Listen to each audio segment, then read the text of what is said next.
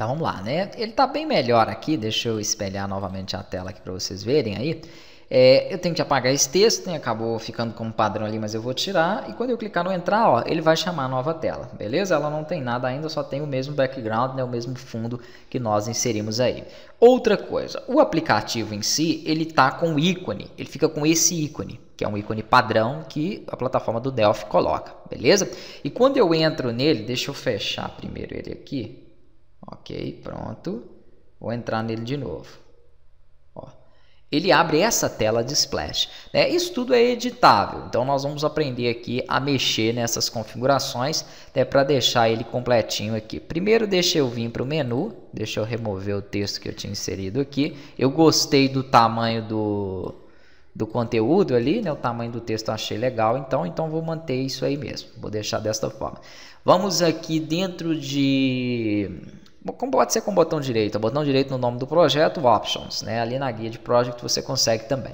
Entrando, entrando nas opções do projeto, tem alguns recursos que são interessantes nós configurarmos aqui dentro, beleza? Né? Eu cheguei a mostrar no curso de Delphi Mobile avançado, foi o que eu fiz anteriormente, onde eu fiz a parte de recuperação de imagem do banco, uploads de imagem, né? tem vários é, recursos para acesso à câmera, acesso à galeria. Então você tem que habilitar aqui algumas permissões. Nós não vamos precisar disso nesse aplicativo, porque vai ser um aplicativo mais básico, onde eu só vou gerenciar aqui algumas é, questões de movimentação e os pedidos né, a partir das mesas. Então, se você quiser implementar depois cadastro de produto pelo aplicativo, algumas outras consultas avançadas, né, eu aconselho para você esse curso. Você vai ter que mexer nas permissões. O que eu quero fazer aqui é, é ir nas opções de ícones. E aqui em cima ó, eu vou colocar Android Platform em All Configuration.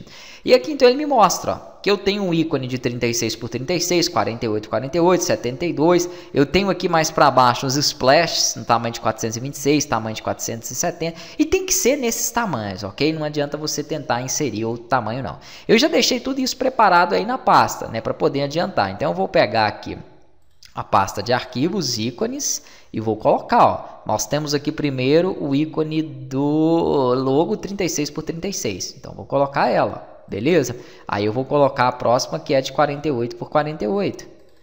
Ó. A de 72 por 72. Por que essa diferença? Porque cada plataforma tem um tamanho. Né? Então eu tenho aí 4 polegadas, 5 polegadas, eu tenho diversos tamanhos para o mobile. Então nós temos que entrar nesse tipo de estrutura. Se for tablet, por exemplo, também vai ter algumas diferenças. Então chegam a ter ícones que podem ter um tamanho de 144 por 144 pixels, que é um tamanho muito grande, provavelmente para ser rodado em um tablet. É, aqui nós temos o, os splash, então o splash aqui o primeiro é 426 por 320. Se não tiver no tamanho, ele não deixa nem você carregar, beleza? Eu, de, eu gerei aqui uma tela de splash bem simples. Eu coloquei imagens PNG com ícone, né? Ali como vocês podem ver no meio. Aí eu fui aumentando e regulando os tamanhos de acordo com as especificações. Pronto, eu vou ter que rodar isso novamente aqui para poder testar. Então assim que ele carregar eu retomo.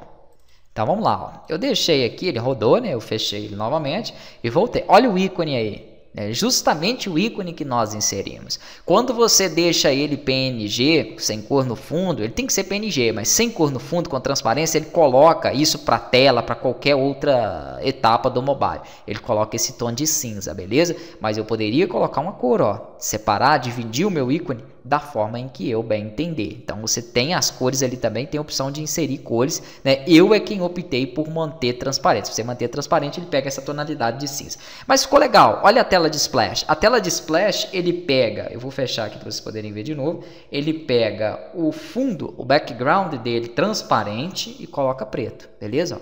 Então fica desta forma aí. Essa vai ser a minha tela de splash. Então você consegue configurar e controlar aí dessa forma. Pode colocar informações de desenvolvedor, né, o que você quiser aí dentro da tela de splash. E essa vai ser então a nossa tela de login, aonde nós vamos ter que personalizar aqui as informações, fazer as verificações dos campos, né, conforme o banco de dados para conseguir fazer o acesso. Antes de preocupar em fazer o acesso aqui para a tela principal, eu vou montar a estrutura da tela principal primeiro, com um topo, uma área central onde vão estar os botões de recursos do aplicativo e um rodapé, onde depois nós vamos é, receber né, algumas informações aí que podem ser de total de reservas ou a movimentação do dia, né, algo aí desse tipo.